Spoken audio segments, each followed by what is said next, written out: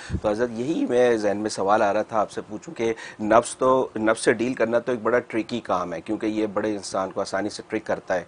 तो गालिबा, आपने इसका जवाब यही फरमा दिया कि सवाल ये था कि ट्रिक जो जो नफ्स है, ये आप पर अक्सर इंसान पर गालिब आने की कोशिश करता है। तो इंसान रोज़ाना क्या प्रैक्टिकल अमल चीज़ को प्रैक्टिकल में रखे रोज़ाना की बेसिस पे कि वो नफ्स को मगलूब रखे?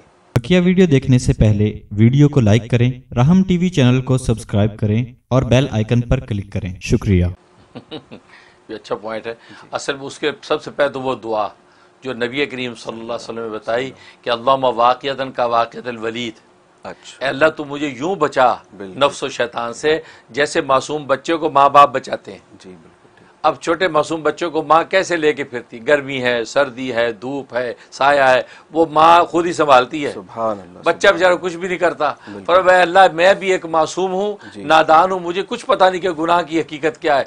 कहाँ से हमला नफ्स करेगा कहाँ से शैतान करेगा? या अल्लाह मैं तेरे अपने आप को तेरे सपुर करता हूँ। तभी तो औज़ बिल्लाहि मिन शैतान रजीम पढ़ता है कि अल्लाह तेरी पनाह में आता हूँ। और अल्लाह की पनाह में जब आ गया तो फिर नफ्स शैतान कुछ ही बिगाड़ सकता। तो बस ये करे कि अल्लाह वाक़ियतन का वाक़ घर से निकले सात मरतबा ये दुआ पढ़ के कहे कि अल्लाह मैंने अपने आप को तेरे हवाले कर दिया। अब आपका काम है कि मुझे हर सिमत से दाएँ से बाएँ से सामने से पीछे से ऊपर से नीचे से हर सिमत से अल्लाह तू मेरी हिफाजत कर। इसलिए कि मेरे पास पता नहीं है मुझे कुछ खबर नहीं कि शैतान का हमला कौन सा है और नफ्स का जो है वो अगवा कौन सा है। या अल्लाह जब तेरे स्पुर्द हूँ तो खुद ही हिफाजत करेगा। तो सबसे बड़ी चीज़ अल्लाह क्या को सुपुर्दी कर देना उसकी वजह से इंसान नफ्स पर गालिब रहेगा और कभी मगलूब नहीं माशाल्लाह माशाल्लाह। और जो हमारे घर के छोटे बच्चे हैं उनकी तरफ़ से हम भी पढ़ सकते हैं ये। बिल्कुल बिल्कुल नहीं क्योंकि वो नहीं पढ़ सकते हाँ बिल्कुल उनके पढ़ सकते हैं बिल्कुल।